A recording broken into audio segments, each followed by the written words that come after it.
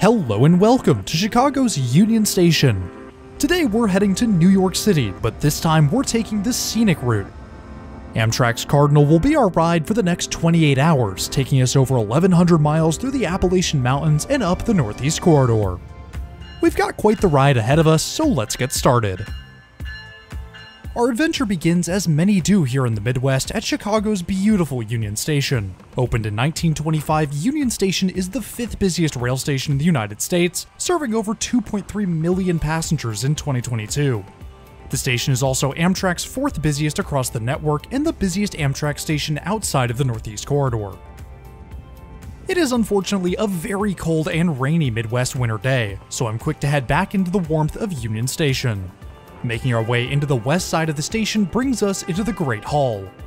Located at the center of the station head house, the Great Hall spans an enormous 20,972 square feet with a 219 foot long barrel vaulted skylight 115 feet above the waiting room floor. The hall is decked out in holiday decor. Wreaths, ornaments, and bows dot the walls while light Christmas tunes echo throughout the station. The centerpiece of it all is the absolutely massive Christmas tree. The 40 foot tall tree is adorned with thousands of lights and hundreds of railway themed ornaments. The ornaments include the Coast Daylight, Missouri Pacific, Western Pacific, Rock Island, Rio Grande, Pennsylvania Railroad, Illinois Central, and of course Amtrak, among others. While the main hall is open to all passengers, Amtrak's Metropolitan Lounge is the best place to wait ahead of departure. The lounge is located in the main passageway just off the Great Hall. Access to the lounge is complimentary to all sleeper and business class passengers, and to Amtrak Select Plus and Select Executive Rewards members. Complimentary snacks are laid out at the bar just beyond the entrance. The selection today includes various chips, granola bars, sweets, and popcorn. Non alcoholic beverages are also complimentary and include sodas, water, juice, hot coffee, and tea. Although it isn't super flashy, Chicago's Metropolitan Lounge offers some decent amenities, including a business center, luggage storage, and showers. Of course, there's plenty of comfortable seating too. I always find that the upstairs portion of the lounge is the best place to wait. Fewer people choose to ascend the stairs, which leads to a quieter, more relaxing environment. Boarding for the Cardinal is called at 5:23, or about 30 minutes before departure. Waiting for us on track 28 is Amtrak's Cardinal. On the tracks beside us are two of Amtrak Midwest intercity trains, made up of a mishmash of Amfleet 1s, Horizons, and the new Venture cars. There are two sleepers on today's train, both of which are the new Viewliner 2s. The forward sleeper is a standard car, but the sleeper we'll be staying in, Car 5009, is a combination sleeper baggage car. Ascending the steps, we once again enter the world of Amtrak's new sleepers, that feeling of first class washing over us as we climb aboard. We'll be staying in room 3, the second room on the left, in our home for the next 27 and a half hours. As we get situated, Amtrak's Capital Limited backs in ahead of its 6:40 p.m. departure. Despite the Cardinal leaving almost an hour ahead of it, the Capital Limited will arrive in DC a full 5 hours and 45 minutes before the Cardinal. It may be faster, but it's not nearly as scenic as the Cardinal, a fact we'll see almost all day tomorrow. While we wait for boarding to conclude, let's take a quick look at our route over to NYC. The Cardinal begins by heading south out of Chicago, quickly leaving Illinois for Indiana. Indianapolis and Cincinnati come in the dead of night, sunrise meeting our train in Huntington, West Virginia. It's all Appalachians on day 2, our train twisting and turning through the New River Gorge. Once out of the mountains, it's smooth sailing to Charlottesville and Washington, D.C., where our train switches over from diesel to electric. The Cardinal then transforms into a high speed hotel, our top speed now up to 125 as we head up the Northeast Corridor to New York City, pulling into Penn Station at the end of the line. We'll cover a total of 1,146 miles on our ride over the next two days, with a travel time of 27 hours and 45 minutes. Departure from Chicago is right on time, our train rolling out of Union Station exactly at 5.55 p.m. The sun has long since set over the Midwest by the time we leave Chicago, the lights of the Windy City illuminating the horizon as we begin our ride east. To see us off today is railfan and fan of the channel Miles Jajich, who stood out in the rain to get this unbelievable shot of our train and the Chicago skyline.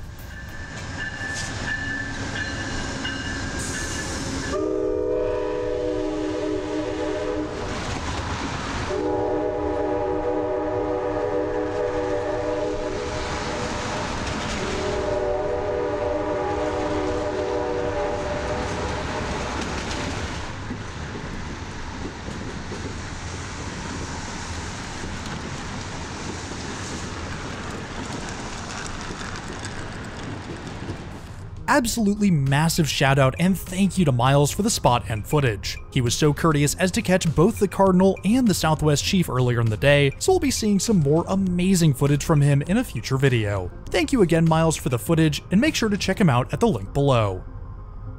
Our first meal on the Cardinal is dinner, served about 30 minutes after leaving Chicago.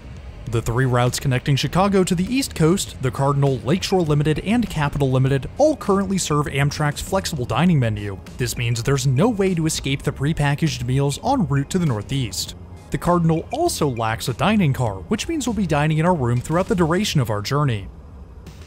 Amtrak's flexible dining menu offers five options for lunch and dinner, all of which come with a side salad, a roll, and either a brownie or butter cake for dessert. For our first dinner on board, I went with the beef burgundy, which quickly comes delivered by our car attendant. Disassembling the package, we find two boxes, one of which contains our main course while the other holds the sides and drink. Defoiling our food reveals a very standard Amtrak meal. Starting with the sides, the salad is fine. The lettuce has that slight rubbery texture of over-refrigeration, but I don't mind it too much. The roll was good though, and came pre-warmed with two units of butter. Our drink for tonight is a can of Coke, spiked with a little something extra. One alcoholic beverage is complimentary for sleeper passengers at dinner, and I always take full advantage.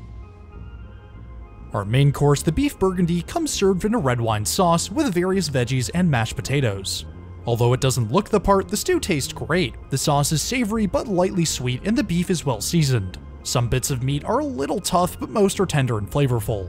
The mashed potatoes pair wonderfully with the beef, especially when you get a spoonful of both mash and sauce. The veggies are all well cooked, but feel like a bit of an afterthought compared to the rest of the dish. Dessert for tonight is a chocolate chunk brownie, and of course, it's delicious. I'd have to give dinner a 6 out of 10. While it's not traditional dining quality, the beef burgundy is much better than I expected, and most importantly, it's very filling. Illinois is long gone by the time we wrap up dinner. We'll be in Indiana for a little under 7 hours, 100% of which will be in darkness. The Cardinal makes quick work of Lafayette and Crawfordsville, the radiant lights of Indianapolis piercing through the mist as we approach the station. Just prior to reaching the station, we pass by the impressive 63,000 seat Lucas Oil Stadium, proudly serving as the home of the Indianapolis Colts.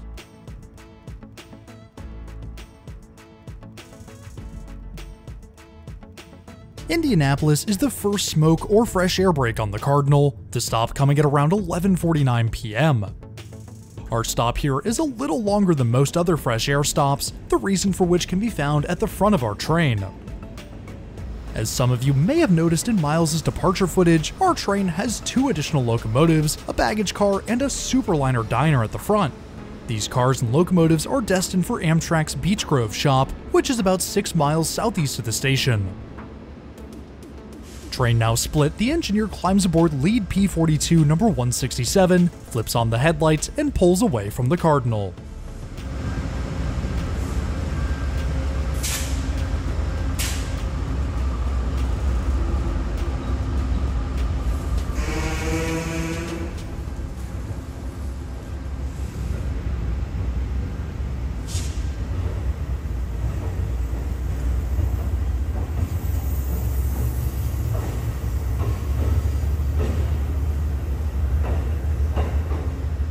Quick look at our Viewliner 2 bag dorm, and it's back on board ahead of our 1215 departure.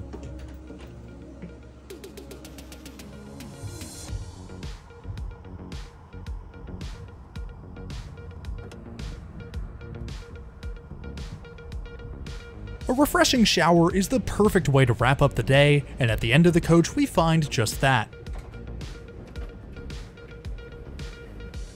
Viewliner 2's showers boast a completely open design, the room reaching from floor to ceiling.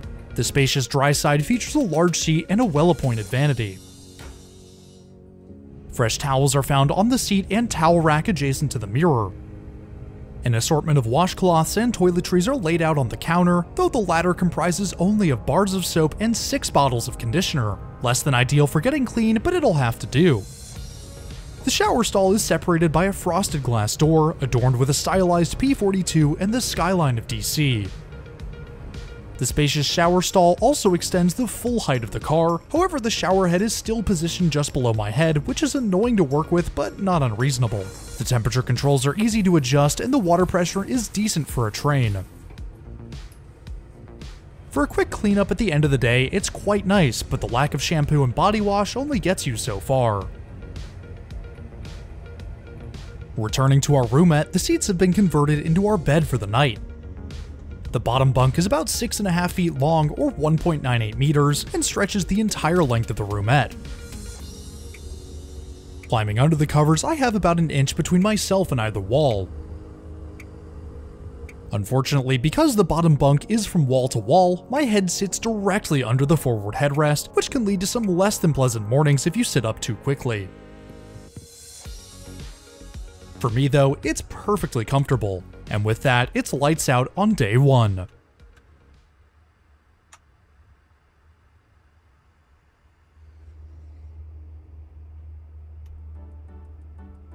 The sun hasn't even broken the horizon when we awake on day 2.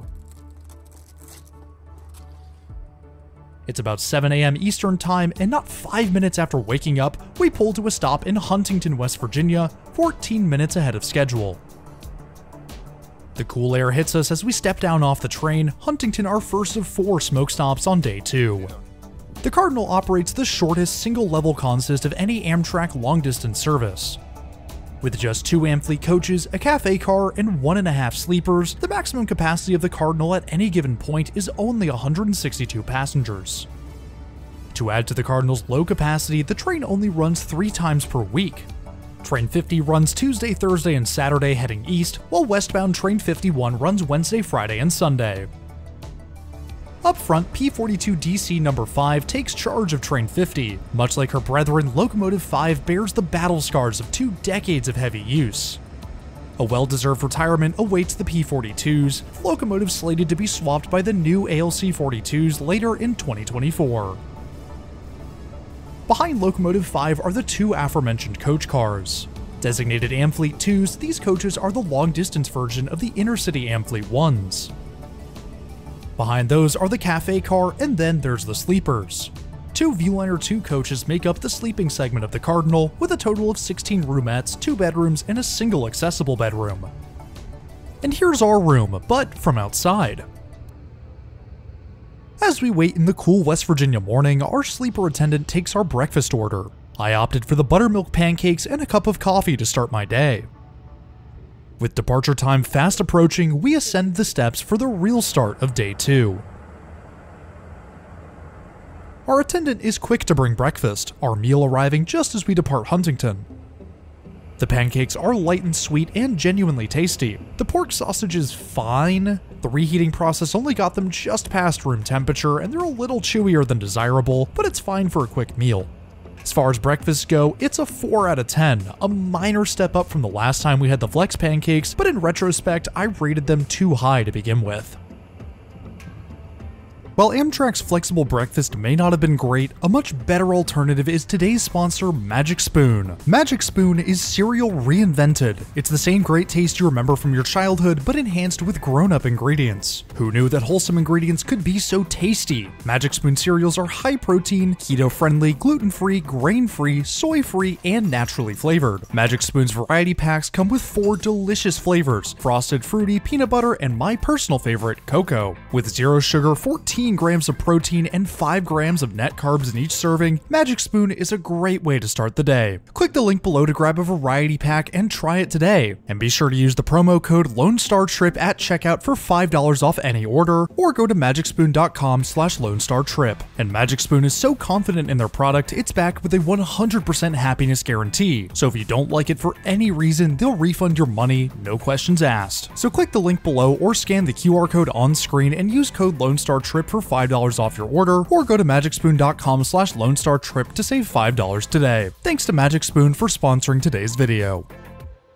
One cup of coffee is great, but two is always better. The self-service station has been cut from the dorm bag car, so we'll have to use the one in the other sleeper. Located between the bedrooms and roomettes, the drink station offers passengers complimentary ice, bottles of water, and hot coffee. A nice bonus on today's train are two bottles of juice, one orange and one cranberry, sitting atop the ice maker. Now fully caffeinated, it's time for a tour of our Viewliner 2 bag dorm sleeping car. Viewliner 2 bag dorms include 9 roomettes, 2 bathrooms, and a shower, all conveniently arranged along a central corridor. A departure from the white plastic walls of the Viewliner 1s, the Viewliner 2s feature a welcoming wood veneer, imparting a sense of warmth and coziness to each car. Lights alternate down the corridor, a room number and attendant alert light situated above each doorway. Odd rooms are located on the left with even on the right. Room 1 is reserved for the car attendant, a small storage area with a trash can found opposite.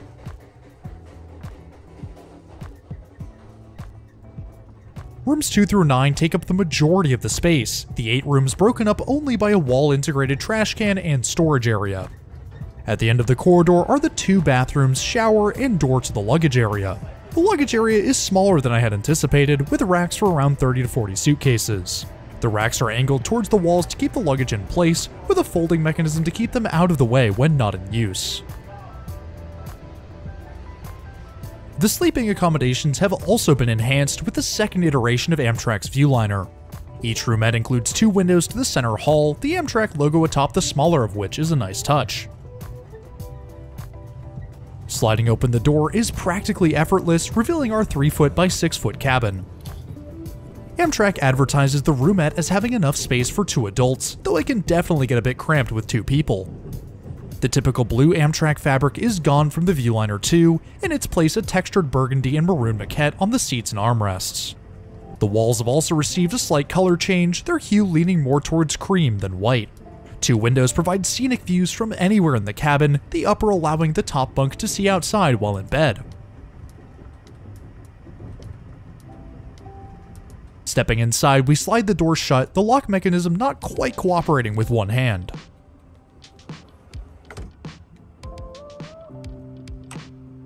Curtains extend to cover the internal windows, ensuring privacy while in transit.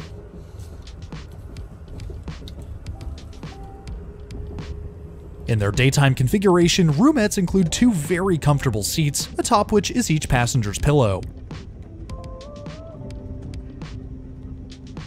The forward seat on today's train is the captain's chair of the roomette. It includes an extra 4 to 5 inches of width and armrests on both sides. The width difference is immediately apparent when the seats are converted to their overnight configuration. Both seats recline using the bar beneath the seat, the bed conversion lever found beside it. Above the captain's chair are a suite of lighting and room controls.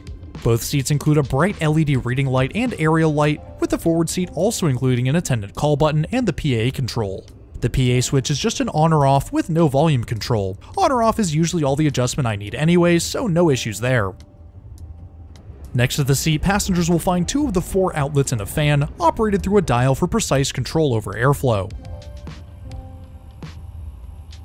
Above that are the room light controls and electronic thermostat.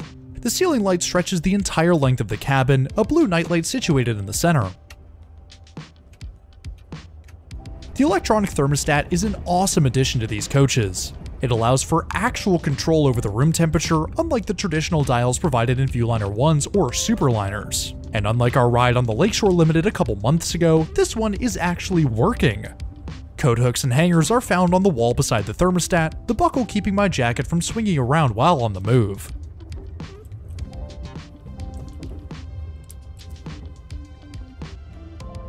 The room's trash can is situated in the compartment adjacent to the main seat.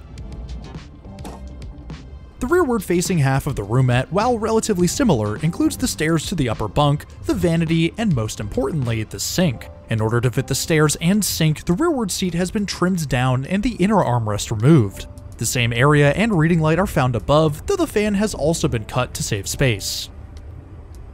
Along the windowsill, passengers will find everything in twos. Two cup holders, two armrests, and two AC vents. The armrests are comfortable, but it's interesting to see that the one for the wider seat has clearly been used more than the other. The two cup holders are perfectly sized for a plastic water bottle or a cup of coffee, but do little to hold larger cups in place. Each vent is controlled by a tab extending out from the windowsill, the friction of which is able to hold the vent in any desired position.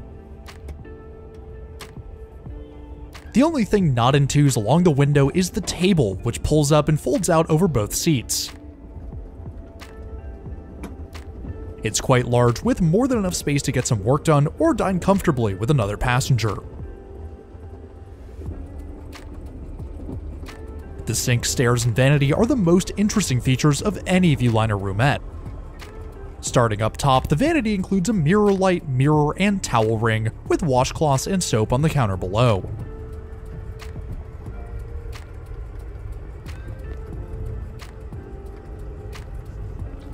Below the counter are the sink, two remaining outlets, the second of two mirror light switches, and the cup dispenser, which unfortunately is empty.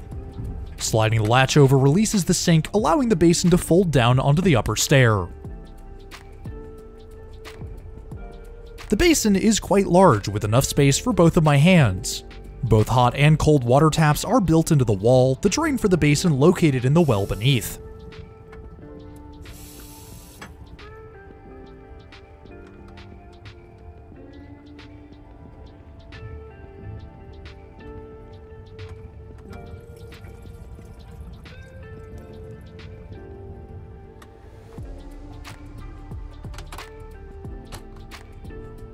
Unlike the Viewliner 1, Viewliner 2 roomettes do not include an ensuite toilet. Instead, Viewliner 2s offer two communal restrooms at the end of each car for roomette passengers. The removal decision was met with mixed praise. I personally appreciate the removal of the in-room toilet, as sleeping next to one is not pleasant, though I know that other passengers have advocated in favor of the ensuite option. The area where the toilet would be located has been repurposed for storage, offering ample space for large backpacks or smaller suitcases. The space between the stairs can also serve as storage for medium-sized personal belongings. Although the two seats are great for daytime cruising, a second passenger needs a place to sleep overnight. Up above the seating area, we find the answer, the second bunk. Twisting the handle releases the bed, which slides down and locks into place. In its lowered position, the top bunk sits just below the upper window, the bed frame including a similar cutout to the width difference in the seats below.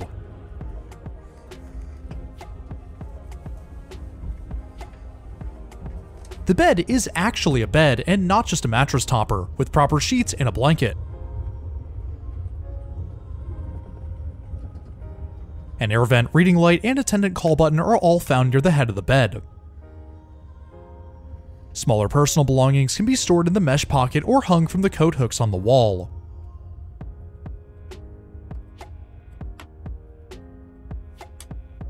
While we're up here, we get a great look at the massive storage area. The luggage hold overhangs the central hallway and is easily large enough for my standard carry-on bag with plenty of room to spare. Of course, if you're traveling with more or larger baggage, then there's always the option to check your bags to your final destination. The roomette, while compact, is an excellent choice for solo travelers or duos seeking a more budget-friendly option. The Viewliner 2 enhances this already outstanding choice by incorporating modern features and amenities, solidifying its position as one of the most pleasant travel experiences available in the eastern United States. If you're enjoying our ride on Amtrak's Cardinal, why not hit that subscribe button? It's totally free and it really helps support the channel. If you want to go the extra mile with your support, then check out the channel's Patreon or become a channel member. If you too want your name in the video or just want to support the channel in more ways than one, then head on over to the links in the description below. Through most of West Virginia, the tracks are at the mercy of Mother Nature and her waterways. It starts with the Kanawha River, which soon transitions to the New River as we head east.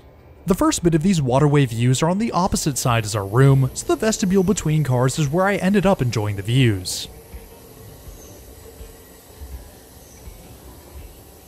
Our passing of the Hawks Nest Dam means we've officially entered the New River Gorge National Park.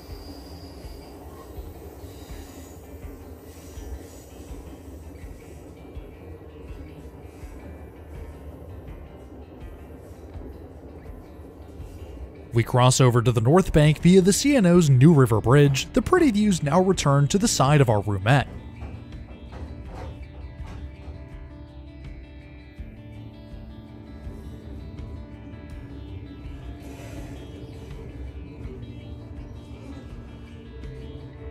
A tributary to the Kanawha River, the New River flows 320 miles through North Carolina, Virginia, and West Virginia.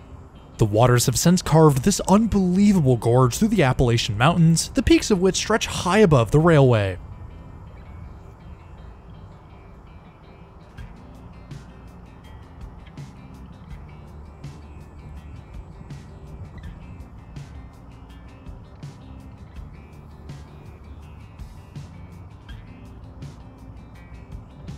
The New River Gorge Bridge is the next major landmark visible from the Cardinal.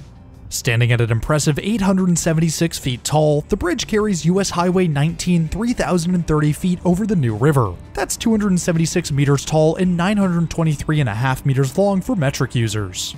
When it was constructed in 1974, its 1700 foot or 518 meter long support structure was the world's longest single arch bridge, a title which it held for 26 years.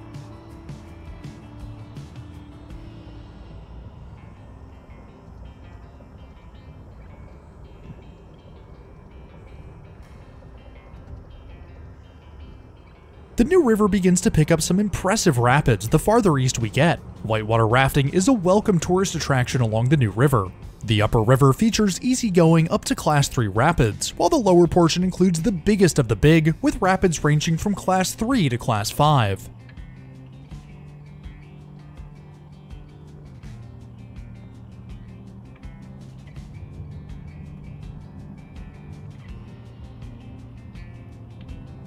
Pretty as the New River Gorge is supposed to be, the winter weather and barren trees means it's pretty much nothing but brown and gray.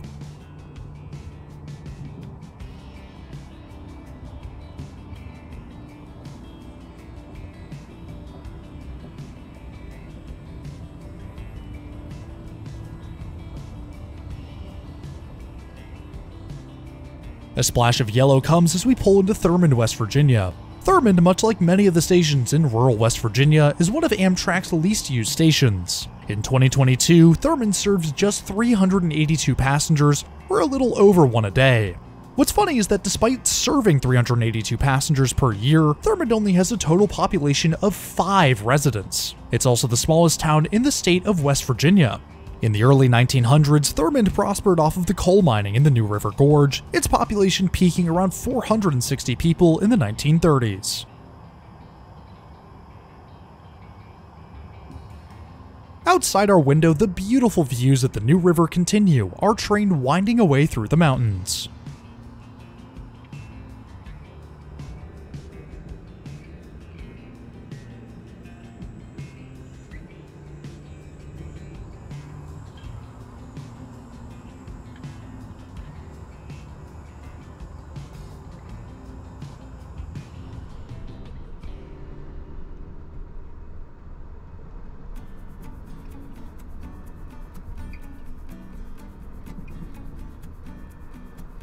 The tracks leave the New River to ascend into the mountains, the distant peaks obscured in the low-hanging clouds.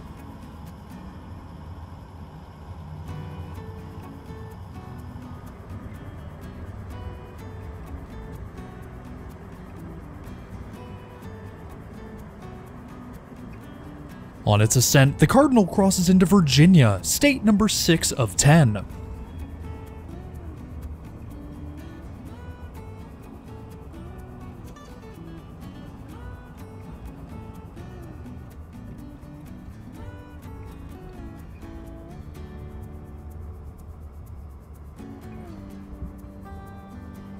By the time the tracks level off again, it's time for the Cardinal to make another smoke stop, the first of three in Virginia.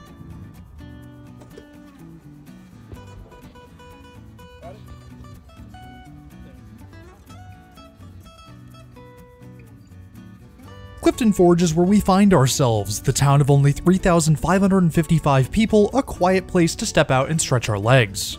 Clifton Forge isn't normally a fresh air break, but with a few extra minutes to burn, the crew allows us to spend some time outside. Uh. Climbing back aboard, it's time for lunch.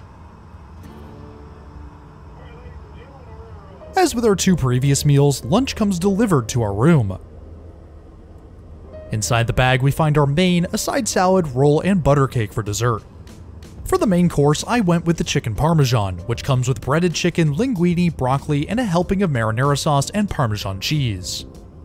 It's fine for a reheated meal. The chicken is a little dry and tough in parts, but the flavor is good. The linguine has unfortunately gone hard in spots and the sauce dehydrated a bit, both byproducts of the reheating process. The side salad and roll are what you'd expect, and the butter cake is a delicious way to wrap up the meal. Despite my mild praise, I'd have to say this is a 4.5 out of 10. It's not great for a sleeper meal, but it definitely could have been worse.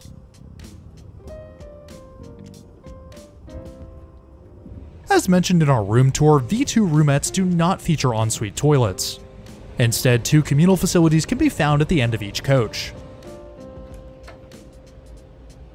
Each bathroom is very clean and spacious. The sink works well with both hot and cold taps, with a bottle of soap and towels found nearby. Beside the sink is a cup dispenser and two 120 volt outlets. The layout of the bathroom also helps this facility stand out from the usual Amtrak bathrooms. The toilet is angled towards the far corner of the room, which provides significantly more space compared to the typical arrangement. On approach to Staunton, Virginia, the Cardinal glides past the waiting cars of the Virginia Scenic Railroad. Maybe someday we'll be back to ride on them, but for us and the Cardinal, they're just another passing sight.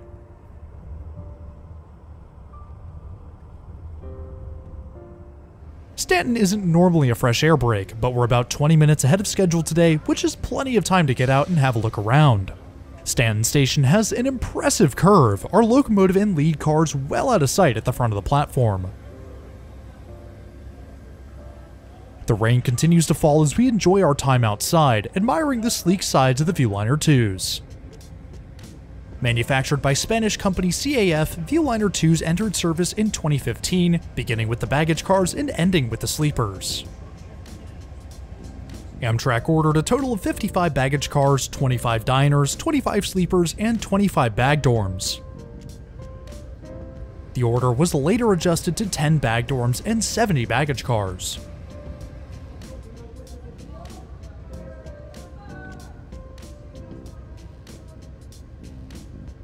Ascending the stairs to the lead sleeper, we can take a quick look at the cafe car on the Cardinal. Amtrak's Amfleet 2 cafe cars are a little different than their Amfleet 1s. The luggage racks have been removed from above the seats, and each half of the car includes a couple of tables for dining passengers. Amtrak's cafe cars offer a variety of snacks, drinks, and larger food items for purchase, all at a fairly reasonable price. Tucked away at the end of the car is a phone booth, the space now used as a conductor's office.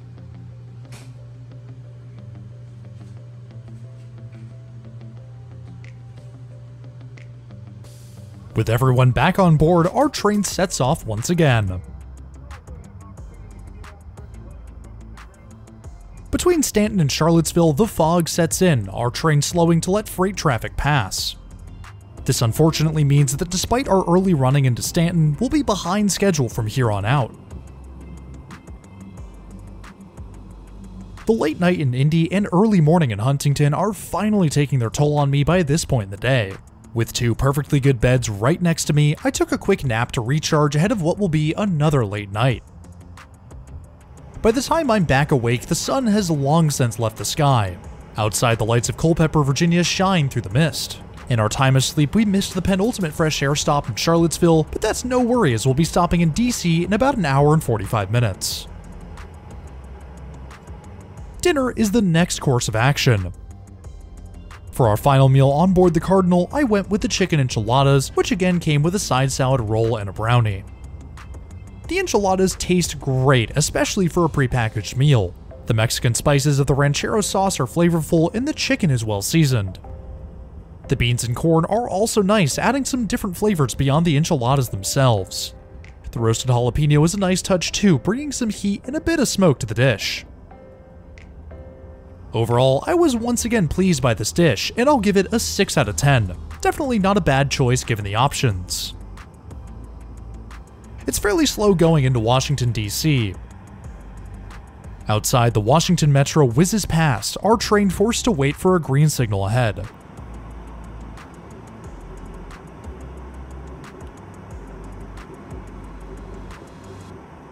After a quick stop in Alexandria, we cross over the Potomac River and into the tunnels of Union Station.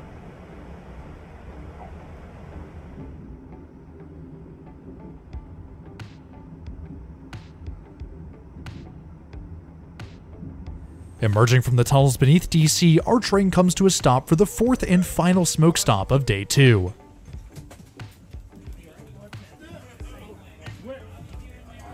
This is also where the coolest part of the journey happens, the engine swap. DC is the southern terminus for Amtrak's Northeast Corridor, the electrified main line running from here to New York City and up to Boston. Amtrak trains running on the Northeast Corridor are operated by electric motive power. This means we must bid farewell to our P-42 in favor of a Siemens ACS-64. Despite the cold and rainy weather, the crew gets to work uncoupling Locomotive 5 from the Cardinal. While we wait, the train on the adjacent platform pulls away, revealing behind it one of Amtrak's new ALC 42 locomotives.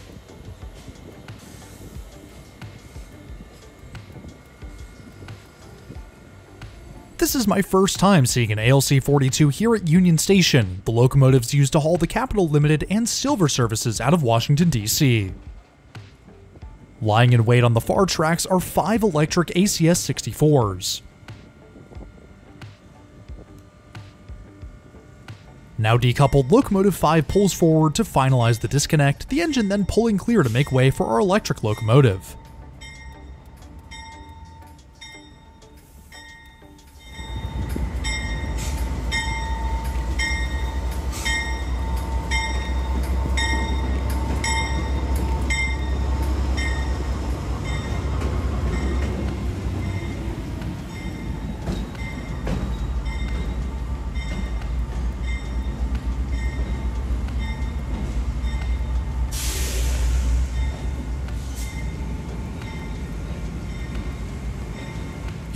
Meantime, our train is left without head end power. This means minimal lighting and more importantly, no power to the septic system, which in turn means no bathrooms while the change is taking place.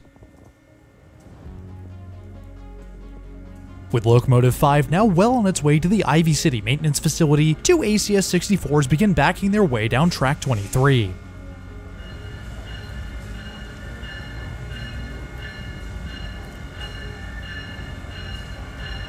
615 will be our motive power from here to New York, the lead ACS 64 of this approaching pair to be disconnected after the swap is complete.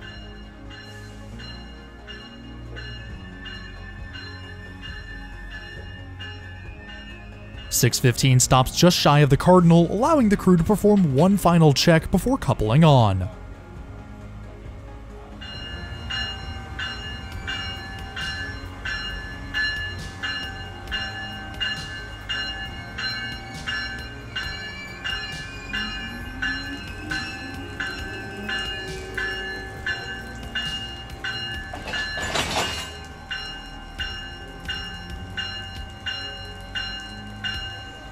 With our train now under electric power, we can climb back aboard and continue our ride to New York City. The rain continues to fall as we pull out of DC, beginning our run on the Northeast Corridor. Reaching the Northeast Corridor comes with the added benefit of increased speeds. From here to New York, we'll be cruising in our hotel room at 125 miles per hour. Although it's difficult to see, we soon reach 125, the occasional streetlights darting past the window the only indication of our speed.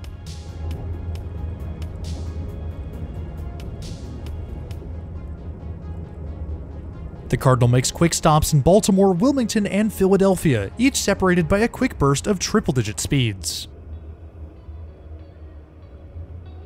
It's all high speed through New Jersey, our train stopping only in Trenton and Newark before crossing the Portal Bridge and dipping into the tunnels below the Hudson River.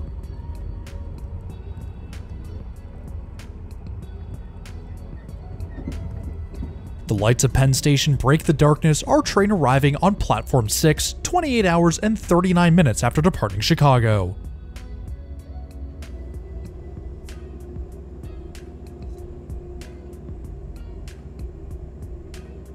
Grabbing our bags, we can head out onto the platforms of New York City.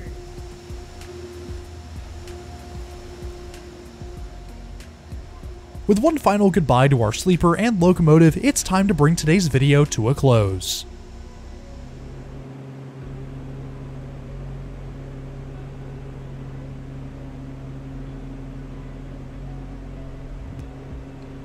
If you made it to the end, I just want to say thank you. Sharing journeys like these are my favorite, so it's always a great feeling when people stick around until the end.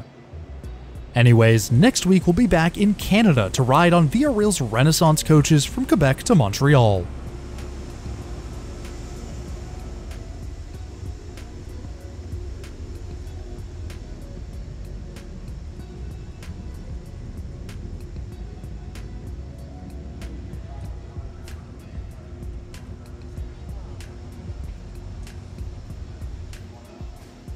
If you're new around here, I would really appreciate it if you hit that subscribe button down below. It's totally free and it really helps support the channel. Another huge thank you to my loyal patrons and members. Y'all are amazing and your incredible generosity is greatly appreciated. If you too want your name in the video or just want to support the channel in more ways than one, then head on over to the links in the description below.